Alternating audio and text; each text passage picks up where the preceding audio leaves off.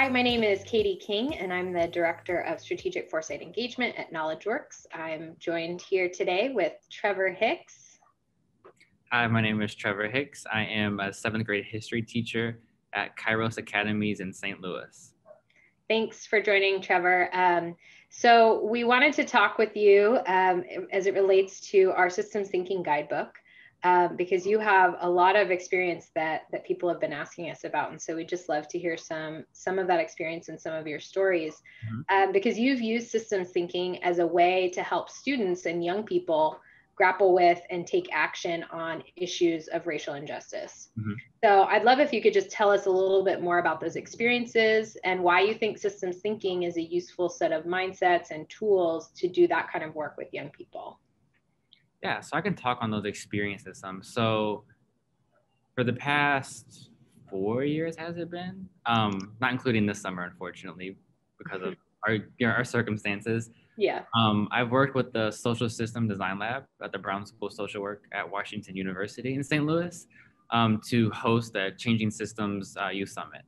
And all that is, it's just like a, with well, a fellowship and a summit. So there's like a three week fellowship with uh, chosen fellows who apply and we teach them like systems thinking and system dynamics um, and teach them like how to facilitate those conversations with their peers. Um, then like the culminating event is like a three three day summit with um, where the, the fellows who we train are teaching their peers these tools and they're typically tackling a problem that they see uh, or they face in their community. Um, so we've had project, uh, problems of like youth homelessness um, structural racism in schools gun violence and then like educational equity so my experience has just been like guiding those fellows and like just teaching them the tools and really helping them see the value in um, like their voice and their expertise based on their experiences. Because i never walk in the room and like i'm an expert on like gun violence and like i'm going to teach everything it is about gun violence. It's it's more so if i'm a facilitator and we're going to pull out like your stories and your experiences and see like what the system looks like to us and where could we possibly intervene based on what we based on how we see the system. Um, the goal is to have as many voices in the room as possible so we can start to build that picture a little bit more. Um, that's been my main experience with um, like using these tools with youth. And what would you say are some of the things that have come from that, either insights that that they have come to, or actions that they've mm-hmm. taken, or or just some of the the results of of those conversations and um, and those using these tools that that they may have had. Mm-hmm. um, some of like the major like high level insights that we've seen is like students typically walk away with like understanding like they see the bigger picture right? Um, so before they had this very narrow vision of what like youth homelessness or gun violence or educational equity or racism looked like they had this very narrow lens. And like after like just being around their peers and kind of walking through these tools and exploring and like diving into what the system looks like to other people that they're like close to their age, um, they start to see that like my experience is valid, but there's other people experience other experiences are also valid, and those experiences are a lot like they really paint a bigger picture for for those kids. And I'm saying this really weird, but um, what I'm trying to say is that there's that bigger picture understanding. So like yes, they still have their own mental model of it, but then now they see others' point of view, so they can start to consider those and like think about, okay, well, if I experience this and you experience this, how can we come together to find a solution that works for both of us and can also change um, the system and to the best of our ability. And why do you think systems thinking is a good approach for those kinds of conversations and that sort of outcome? I feel like there's so many different ways to collaborate and different ways to have conversations. What have you seen as unique or particularly powerful about systems thinking?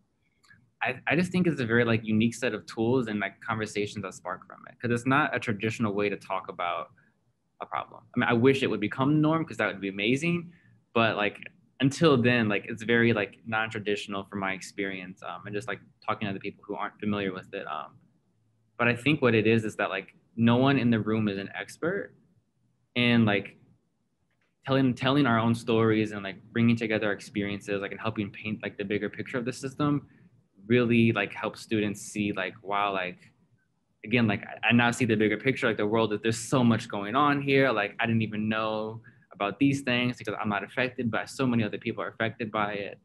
Um, i think it's just an effective way and it's kind of it's subjective, but it's also objective at the same time. Like it allows people to just like step back and like they put their brain on like a piece of paper or a chart or whatever and they can see it and they can like tweak it with like whoever they're working with. Um, typically my work is done in groups so like they can work together to figure out like no this doesn't fit right.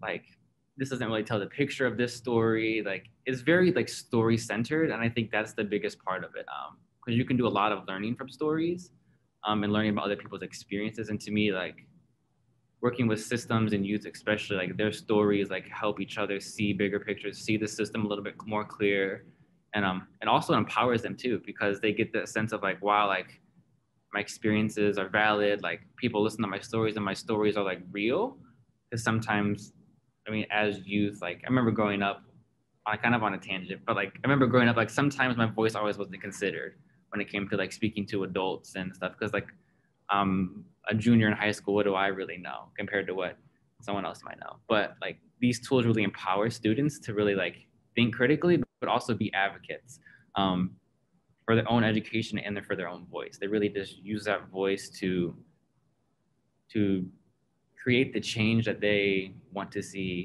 in their school or community or wherever they want to see that change. Mm-hmm.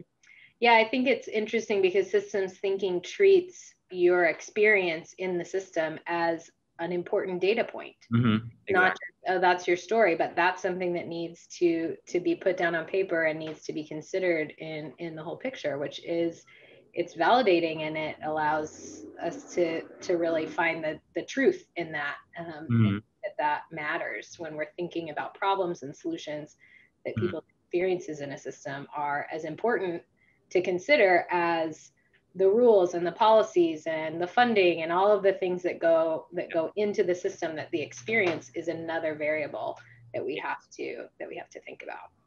And I, I think another like important aspect of and the reason why i think youth grab onto it so much it doesn't feel like we're just sitting around in a circle talking about the problem itself right?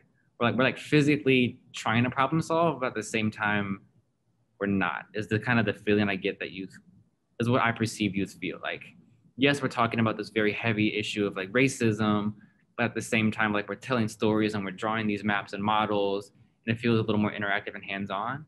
And then like at the end, they like you, the students step back and they see their final product, like wow, like it didn't feel like we did all this, but we really dove really deep into like what's going on in our community, for instance. Mm-hmm. Um, something about that hands-on, like tactile kind of like learning and like exploring I think is really powerful for youth as well.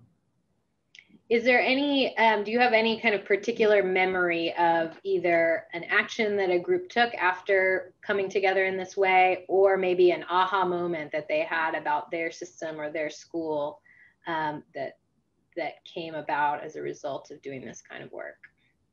Some of the best examples I can use are just like hearing like like little like bits and pieces of stories of students like going back to their schools and like becoming advocates and fighting for the change they want to see in their schools. Um, no like super specific story for like that example, but like students will come back the next year either as a participant or as another a fellow again, and they'll talk about like, yeah, we tried to start this initiative at school. Um, like administration wasn't listening, our teachers weren't listening, but we kept pushing and kept fighting and showed them like this is this like how the system kind of works in our our perspective or from our perspective, um, and this is like the change we want to make. And sometimes that works in the school, sometimes it doesn't. Um, I think some aha moments I've seen are just like students just like it just clicks all of a sudden. Like say it clicks. I mean like the tools we're using click because sometimes it can be a little intimidating, but also the the issue or the problem we're tackling and like it just starts to make a lot more sense to students. I remember gun violence specifically, a student said that he said that when he thinks of gun violence, he just thinks of someone with a gun in their hand, like pulling the trigger. But he said, like, when you dive into the system dynamics of it, there's a lot more reasons and like there's roots to why people put a gun in their hand in the first place. Um, that's one really like vivid memory as to like an experience that I had where a student had an aha moment. So just those little like bits and pieces and little like impromptu like conversations that I have where I hear like I don't know. It's just it's such an empowerment tool. Then like I've seen some of the high schoolers that I've worked with go off to college and like they're just like doing amazing in college. They're like involved on campus, um, like advocating for the change they want to see on their campus. So it's to me it's just the tool. For some it's a means to an end. For others like they take it and use it. Um, but at the end of the day, I think what it really does is just empower students to use their voice and like be the change they wish to wish to see. I know it sounds kind of cliche, but that's. I mean, it's a cliche for a reason. yeah. I yeah, and I, I appreciate um, the way that the Waters Center, which we have both worked with, um, frames it as habits and mindsets. That it's you you do these processes and you use these tools, but it's when they start to click and they start to influence the way that you think um, and the way that the lens through which you see the world. That's when it really can can become powerful and that eh, have eh, do, having that experience at a formative time in high school or or even younger um, really makes a huge difference to how people see problems approach problems work together mm-hmm. and we always can't measure that too because you can't always like measure habits and like mindsets um, unfortunately but from my experience because i started systems thinking and like doing like the system dynamics work in high school my junior year i believe. Junior year. Um, and continued it through college and then like even up to before teaching i was working with um, an organization that did a lot of system dynamics and like transitioning to a teacher role like all i can see is systems like the systems that affect my students and like me as a teacher and like it's really it really is like a mindset shift and like they become habits like the way i have conversations with other teachers about like just planning and like what we can do for our students is like it's honestly it's shaped who i am it shaped who I am. But that's the reason I'm on this call because it, it shaped who I am. Um, it has led me to a lot of experiences, and I know that I'm not the only like student who's gone through it and like gone through it and like has changed because of it. Um, mm-hmm. Great. Well, thank you so much for taking time to have a conversation and good luck with the rest of the school year. And we'll uh, hopefully keep in touch to talk more about how we can spread systems thinking across the education landscape that's the dream. Thanks for inviting me to talk. Uh, yeah. Really appreciate it.